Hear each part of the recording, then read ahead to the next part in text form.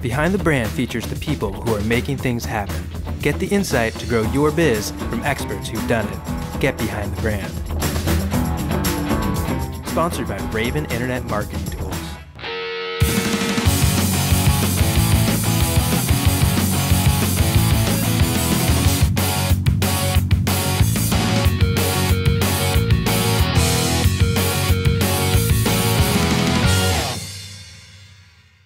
I'm Bryan Elliott. Welcome to another edition of Behind the Brand. Today I'm here with Director of Marketing for Kawasaki, Chris Brull.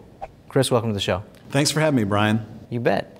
So it's a custom that I ask my guests first off, how did you get this job, Chris? Actually, I, have been in the business for, uh, let's see, about 15 years prior, and then I was invited over by a former vice president of sales here at Kawasaki, and he said, Chris, you've been on the agency side for a while. Would you ever think of coming to Kawasaki and helping me out?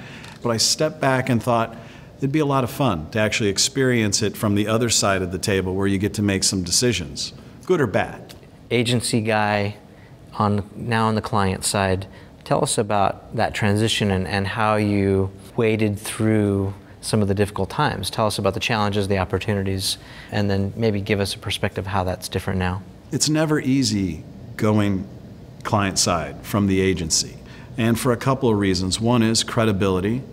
Um, one day you're servicing the business, next day you're a decision maker. People are like, they, they remember you as the agency person. Right. So you go from serving the brand, from being an outsider, they like to use the term vendor. I never like the evil V word because a vendor is someone that puts soda pop in a so soda machine. You're a marketing partner yeah. giving strategic help.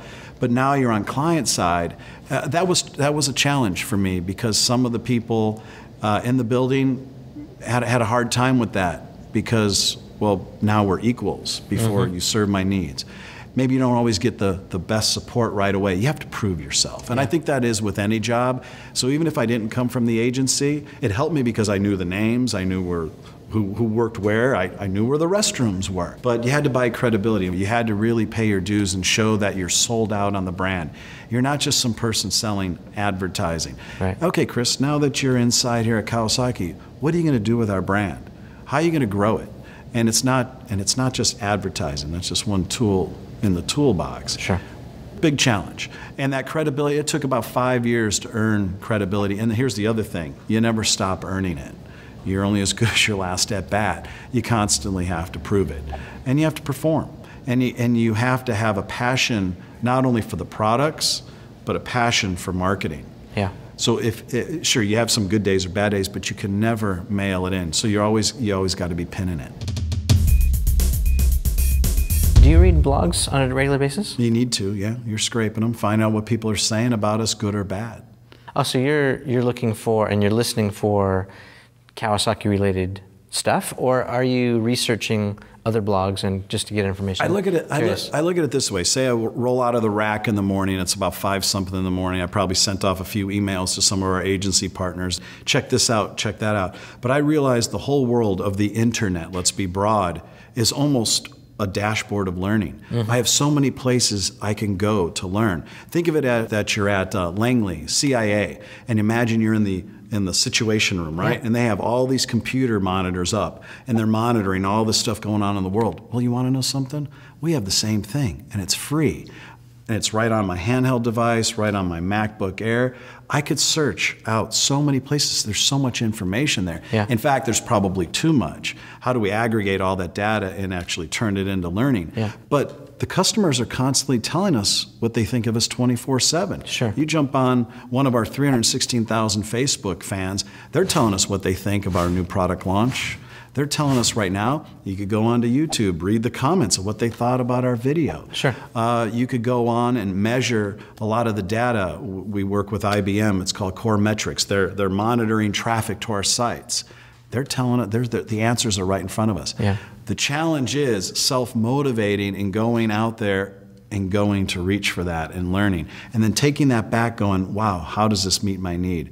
So it takes a lot of self motivation to do it. And the minute I start relying too much maybe on an agency partner or, or a colleague, then I start getting myself in a dangerous box to where I'm just administrating. Sure. You can't. And then you're so reliant on this other person. And do they have all the answers? No.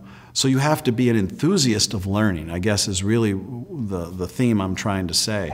And that means you're outworking not just your colleague, you're actually outworking the people at, in our case, the competition. Because there's another guy just like me that has the same tools. So I have to be smarter and you have to be dedicated, very dedicated. Tell me, like, the last book that you read. Oh my gosh, I think I have like six or seven books going on right now. Uh, they're, they're all in all on my uh, iPhone right now. Believe it or not, I'm, I'm reading uh, iWoz with his Wozniak, big mm-hmm. Steve Jobs fan. I finished um, The Presentation Skills of Steve Jobs. Uh, I think I have four Seth Godin books that I'm still working through, haven't finished Linchpin. I want to find out, I'm a big nonfiction guy. Yeah. I want to learn about what really happened or is really happening. Yeah. Because I want to learn. And now that you know you got them on your iPad, you could highlight them. Sure. And you could send yourself the notes and little tidbits. So I'm a collector of little insights. How about traditional media? Are you watching much TV lately? Um, do you read the newspaper? Do you read magazines aside from industry pubs? Sure. What, sure. Do, you, what do you like? Well, what I try to do, I'll consume as much as I can in the industry, but the learning also happens outside this yeah. industry. That's what I'm curious yeah, about is where definitely. you're going outside. Because, you know, inside, when you're eating, drinking, breathing the brand, you're a bit in a vacuum. You don't always. That's true. You don't always know. So uh, it's great that you can go outside. Give us an example of some of those places that you're you're going um, to outside. I'm still a, a, a, child of traditional media. I mean, I still I'm the guy that will be going to the magazine rack. I cried when Borders closed, even though yeah. I'm all about the new media. Um, so I, will personally buy off the rack Sports Illustrated okay. just because. Okay, so that's you know that's for for my own edification.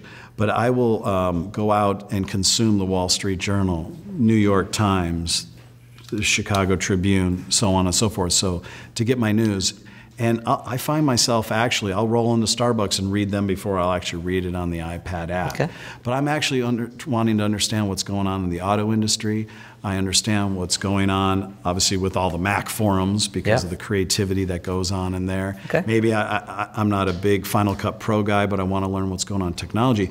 But I'll also, sure, I'll be on Ad Age and Adweek, but I also want to find out what's going on in the bigger brands. So I'm, I'm following, sure, the Apples, the Starbucks, the IBMs, the big three. I want to know what's going on at Porsche, BMW.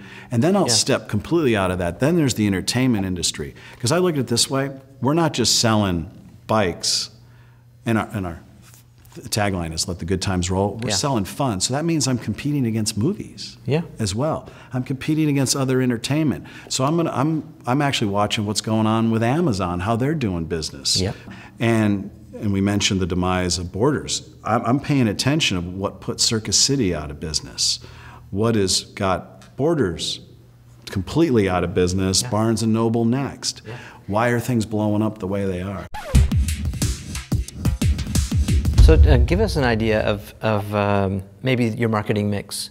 If we want to break it down traditional, non-traditional, what percentage? Give us an idea how you're mixing things up and it depends what product I'm selling. But if you take it overall, I would say well over 75% of our marketing mix is in word of mouth engagement. Like? And I would say social, mobile, demo event.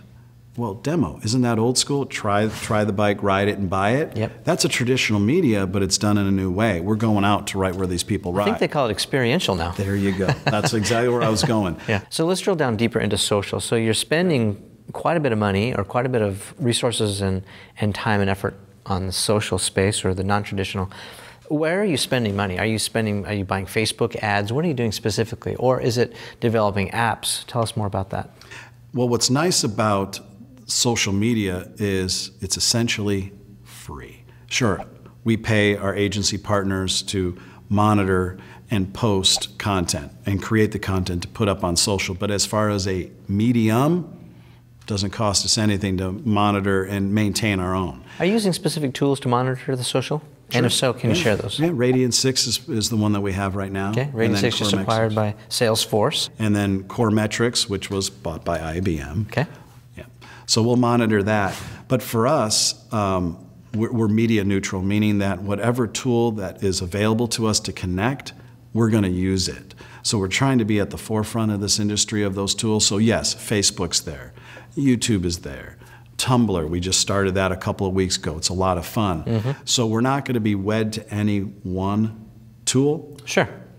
I mean, so I mean, we want to be able to engage. And again, it depends what product we're talking about. So we have to, Yeah. you know, mix or match. So, what are you guys doing with mobile apps? Are you guys developing stuff for Facebook, for mobile platforms? What are you doing? Well, we're looking at every tool that's available, as, as I was mentioning. Uh, let's hit iPad right off the bat. And we consider ourselves right now a market leader in that. We've been working with, with the iPad for, well, since it came out, the 2010 version, the iPad 1 now, we're on the 2. And we knew right away that this thing is more than just a toy, it could be a tool for us. So we've been working with local dealers here in Southern California and built a, a beautiful application that it's actually a mobile application that can be downloaded straight onto the iPads. And we tested it out. So what it ra- basically is is at the swipe of a finger, it's all the product information that you need, all the product videos that you need, all the product imagery showing actual video of the product in use. So, you don't need a brochure anymore. You don't even need a brochure. Now, some might say, well, that's nice. It's just a brochure on steroids. It's way more than that because, hey, Bryan, you come on in. Any information that you need, I capture information. While we're talking, I'm already emailing you a digital brochure if you want a brochure that you could print out. And then on top of that, I'm capturing information. I knew that you came in. Wow, he's interested in that Ninja ZX6R sport bike. I'm going to follow up with you probably within a couple hours after leaving. Bryan, thanks for visiting the shop. This is Chris from blah, blah, blah motorcycle shop, and you were interested in the Ninja 6. By the way, here's some more information. And you get a nice personalized message from me and all the other information that you need on that bike above and beyond the brochure. Cool. And then I'm able to remember you as a lead. So in a couple of days or even a week, I know that you visited, date, time, and you're interested in six. I'm going to follow up with you. And what's also nice about this tool that we're working with our dealers nationwide, that we're also going to be using it for all of their other sales uh, information and tools. So in essence, to, to be brief, this iPad is pretty much the only tool ultimately a dealer is going to need to do business with Kawasaki Sure. so all the back office. So that's that's our vision for this tool. And then when it comes to mobile, yeah, we played around with QR codes, but for us, M- SMS is still huge. Simple messaging. So you'll walk into a dealership, there's a KX450F dirt bike. And right there it says, for more information, text KX450F to 868 727. You could do that for real for the viewers at home. And then boom, it pops. You're linked right into the mobile website. All the information that you want, all the specs, all the features, all the videos, all the photos, right there, right in the palm of your hand. And What's nice about this for a person that's on the showroom, a dealer or salesperson, they could walk a customer through either the iPad or on their handheld device all the information you need. So it's really a silent salesperson right in your hand. So mobile itself too, that we're pushing a whole lot of information. So obviously you could get our Facebook site on there. You could get Kawasaki.com, the mobile version. So anywhere you go, you got Kawasaki right in your pocket or the palm of your hand, 24/7. Our, all, not all our dealerships are open seven days a week. Sure. But Kawasaki is right in the palm of your hand. So we know that people are shopping anytime. We want to be there for them as well. I see you guys, I see the Kawasaki brand as a real innovator, someone who's partnered up like no one, no other brand or no other motorsports brand with outside partners. You know, you have the energy drink category, you have even action sports category where you've aligned yourself with these either cross promotional partners or other alliances. Um, you guys are kind of the first to do that, weren't you? I don't know about first, but we're really happy with our partnership with Monster Energy. Obviously, they sponsor our race team. In fact, uh, one of the key executives over Monster Energy used to be my boss here at Kawasaki in, in marketing. Um, and he's done a fabulous job not only here, but over there. So there's a nice connection. Yeah. And obviously, the lime green, the color green is huge. But what's great about Monster as a partner is that they're into action sports. And that's the lifeblood of Kawasaki, especially when it comes to our dirt bikes and KXs, and we've been very successful. And it's a youth brand, Monster. So is Kawasaki. And it's, it's energy, it's being alive in the industry. They sell energy, excitement, and fun. So do we. So it's a good match. It's, it's, a, it's a fabulous match. Who, else who are some of your other partners? We also play uh, with our friends at Dub, Dub Magazine, and the Dub events, um, which is really, really big in the urban market. And what's really cool about Dubs is, you know, it, people are into into cars. Well, the people that are into cars love to be into bikes, and the people that are into bikes love to be into cars. These are the guys that are customizing their sport bikes. Absolutely. And just pimping it out. Absolutely, and it's and it's a lot of fun, and uh, they definitely embrace not just the urban market, of course, but as I was talking about Monster, they they embrace just being out there, wearing the brand. It, it's it's a lot. It's alive. Yeah. really is. So that's one of our other brands, and then we have a, a great partnership, maybe in a little smaller way, with uh, with NASCAR, with uh, Richard Childress, team owner, very successful. Um, he's got several cars uh, in the chase right right now. Didn't know that. And, cool. uh, he, he's been a, an enthusiast of our brand for gosh, going on 15 years. So he'll do some some partnerships with us on four wheel, our mule, mule utility and Teryx brands. So, Nice. Yeah, it's really cool. The products aren't that different. No, they're right? not. So, what is it specifically that has been your competitive advantage? What, can you put your finger on it? I mean, you got it's been amazing. Your your ride from down here to, to up here now, and it's remarkable. How have you done it? We actually work in an industry that has a lot of similarities in products, absolutely. But there's a lot of things that our customers know that is inherently different about our products than maybe the competition. If you talk to a Kawasaki enthusiast, they'll say there's something about a Kawasaki product that has this raw aggression, raw power. It's like a punch in the face of raw power. And it's us that actually are going to bring that out in marketing and show it to them, number one. So there is a difference in our brand. Our friends back in Japan will call that the Kawasaki difference, and we're going to show that. Do you think because you're a little bit smaller than some of these other OEMs that you're a little bit more nimble? You can move faster, quicker to market? I, I don't think it, it, it, it's size. I think, as I was saying earlier, is that we made a commitment to work harder. Okay.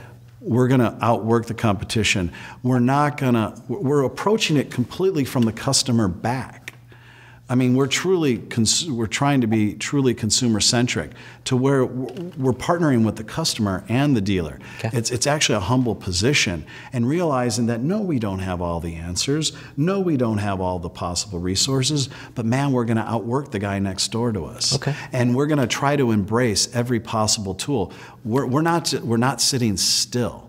It, it's that hunger and that desire to outwork and, and, and not to be focused so much on what the competition's doing. Yeah. It, it's, it's, looking, it's looking ahead. That's what I'm getting from this. It sounds like you guys are not focused on the periphery or whatever the people, you guys are focused on your strategy, your plan, your customer, and you're working that plan. Yeah, uh, absolutely. How do you want people to see you? Are you a scrapper? Are you a survivor? Are you an innovator? Tell us how you want to be seen. What I want to be able to be remembered as is being real and being human and being authentic and actually being introspective.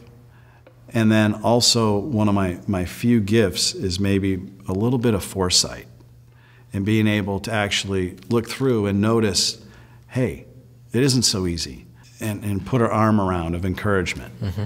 And that's one of my biggest things because I remember what it was like not getting a lot of support. And I want to be one of those people that will give the support because sometimes a good idea could come from anywhere. And whether it's a junior most person or a senior most person, and being inclusive. Are you a nurturer? I would say overall, yeah, because I know what it's like to be the outside. I know what it's like to be the junior person. And I want to be inclusive. Sure, I may have the call at the end of the day, but I realize we're all in the same boat rowing. Have you guys played around with humor at all? Uh, what do you What do you find that really resonates with your people? You tried lots of, a few different message styles.